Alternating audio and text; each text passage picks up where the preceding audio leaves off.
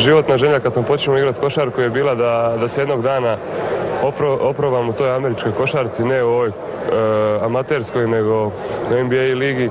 Tako da li će to doći prije ili kasnije, e, sad, sad o tome ne razmišljam, međutim ja vjerujem da ću jednog dana igrati tamo.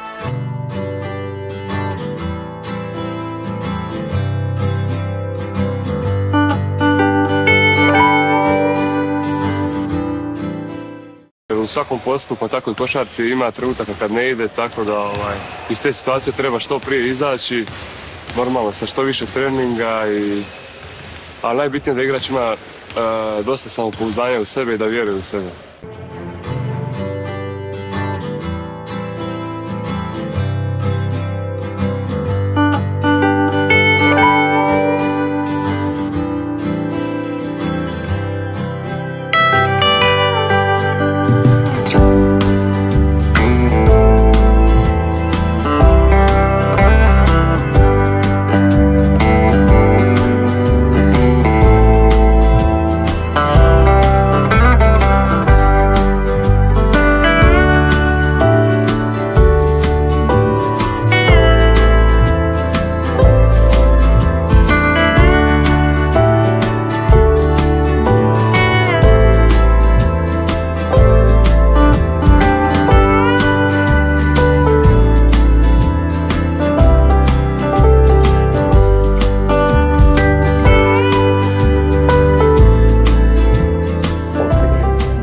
Znali smo da protiv ovakvih igrača i protiv ovakve jedne reprezentacije Amerike teško možemo pobijediti, ali smo pokazali da se 10, 12 ili 15 minuta možemo svima nositi u egalu.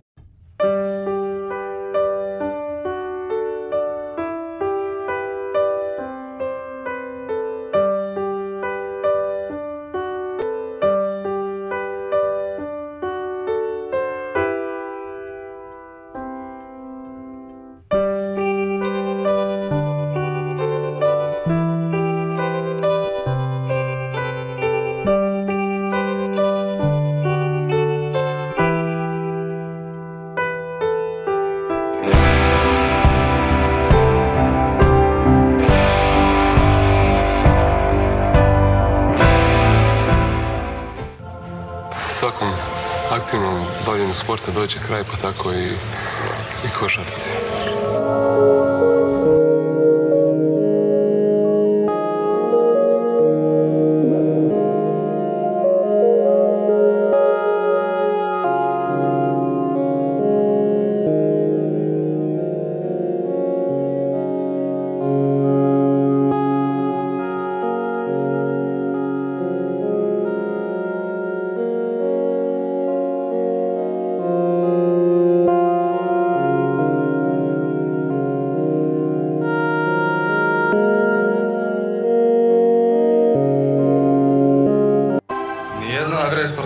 granata nije tako uzdrmala tvoj balekin kao strašna vijest o tvojoj smrti. Tužan je tvoj šibenik. Lica tvojih sugrađana pretvorila su se u njemi, bolni grč. Tko može zaboraviti tvoje uporno loptanje na pomoćnom košu, na tvom i našem baletinu, kada si već kao dječačić manifestirao tvoje dvije najjače športske odlike, nadarenost i upornost.